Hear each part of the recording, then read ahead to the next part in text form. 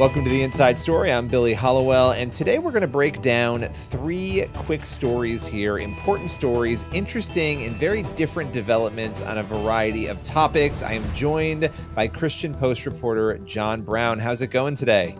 Good, Billy. Good to be with you. Well, as always, you are doing incredible work over at the Christian Post. And I want to kind of go through a couple of these stories that you recently worked on because they all are very interesting for different reasons. The first story centers on Elon Musk. He recently commented on some pretty intriguing statements about Western civilization and Christianity. And so I'll let you tell us the story. Take us through what he commented on and what he had to say. Well, yeah, it started a couple days after Christmas. Uh, a British Christian rapper who goes by the name Zuby said he thinks that the West is, quote, absolutely screwed if it loses Christianity because it's basically the foundation of our society. Uh, the rapper went on to say that Christianity has sort of been like the West's immune system, uh, and that it's formed a herd immunity that has protected both Christians and non Christians. And he said you can't just have a cultural and moral vacuum because it goes against the laws of human nature. He said a lot of forces are trying to tear down Western culture, and he doesn't think it's going to end well. And Musk, who likes to reply to things on X sometimes, uh, he was pretty brief in his response, but he wrote, I think you're probably right. And of course, anytime Musk uh, interacts with a tweet, he it tends to go viral, which is what happened here.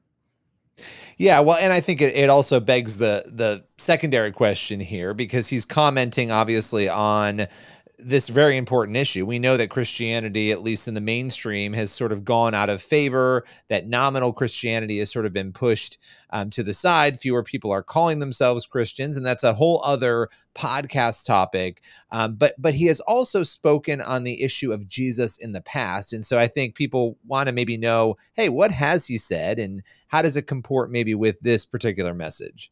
Yeah, he has said some interesting things about faith in Jesus before. Um, he said in an interview about a decade ago that he doesn't really worship anything and he's just focused on devoting his life to advancing humanity. But he also told the Babylon Bee in a podcast a couple years ago that he admires things that Jesus taught, and he even sort of suggested that he'd be willing to be saved, as he put it. But he's also tweeted about being okay with going to hell, so it's it's hard to tell where his heart is.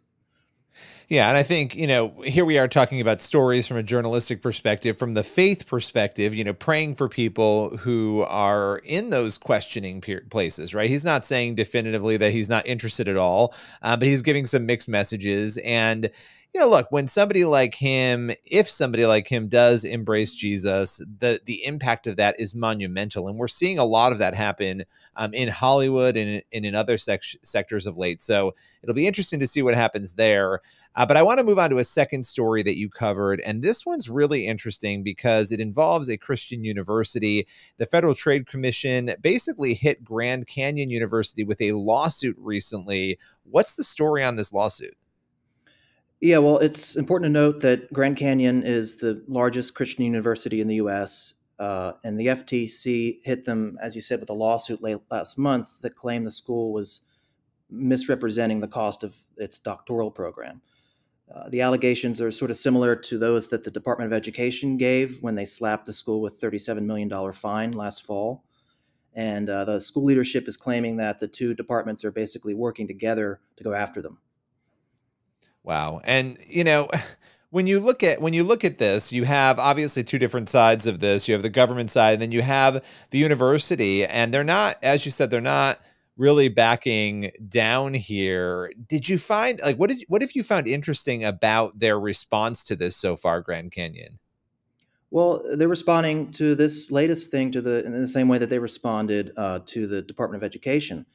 They're saying, you know, the actions the feds have taken against them are wrong, that they've done nothing wrong, they've been transparent, and that they're being unfairly targeted. And uh, one of the things in the FTC lawsuit uh, that they were upset about is that Grand Canyon presented itself as a nonprofit university. And the president was very upset, the president of Grand Canyon, Brian Mueller, he was very upset about that because he said that the IRS did approve them to be a nonprofit, as did the state of Arizona. Some other entities approved it. And it wasn't until later that the Department of Education didn't. And then after the department uh, declined to approve it, they did stop advertising themselves as that, even though they thought that was unfair.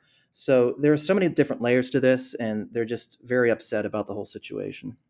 Well, and it's obviously going to play out now in court, and I know you'll continue to cover that one.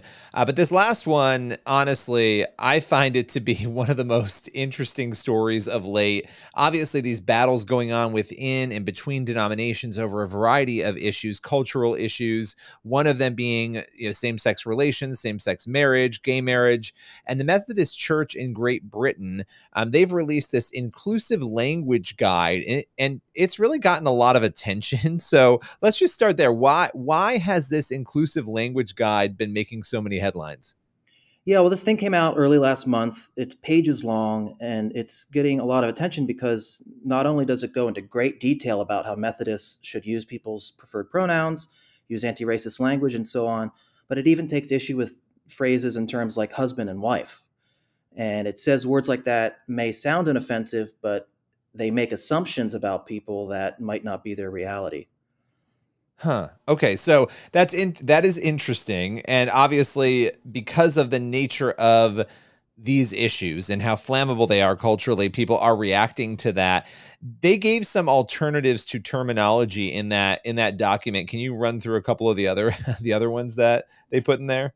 Yeah, they just listed less gender specific words like parent, partner, child, carer, things like that. And then they also took issue with things like uh, they called it ageist language. They say you shouldn't call people old, you should call them older. I mean, they they were very nitpicky in terms of like what words were acceptable and what ones weren't, and it was just very strange. Yeah, it it is strange, and I think you know people are looking for truth and honesty right? Not not confusion or language that isn't precise. I, I think obviously anybody who's gone to college or anybody who's gone through life you know they, this is emphasized from an early age. You want to be specific. You want specificity. You don't want um, a lack of clarity. And in particular, within a denomination or a church, I think when this happens, where you sort of have this dumbing down or watering down a very specific language into something else based on the feelings that somebody might have versus the reality of what's going on, you get these reactions. And, and I think that's why we've seen, as you were saying, this story really blow up, not only in the UK, but in America as well. The final question on this why, why does why does it matter? You know, why do you think this matters to so many people? I think it matters to anyone who takes words seriously. You know, Christianity, for Christians, our faith is based on words. And I think a lot of Christians would agree that the way we communicate about our faith and reality is very important. I mean, husband and wife are very foundational concepts. And I think uh, Father Calvin Robinson, he's a conservative Anglican, he raked them over the coals for this guidance. He said they're basically giving in to Marxist definitions and, and views of language, and they're trying to smash heteronormativity. And he said the church is going to have to choose between that and upholding God's order. And he encouraged them to pick one. Well, uh, yeah, absolutely. I think it's going to be interesting to watch how these battles play out. This is just the beginning. A lot of other denominations and churches are having these fights right now, not just about language, but about official theology and policy and how churches are going to conduct themselves. And so, as always, John, appreciate you bringing us these stories today. Thank you. Everyone else, make sure you tune in next week for another episode of The Inside Story. We'll have more stories for you then. And in the meantime, head over to the Christian Post to read all the news you need to hear, read, and see. We've got podcasts and plenty more over at the Christian Post. We'll see you next week.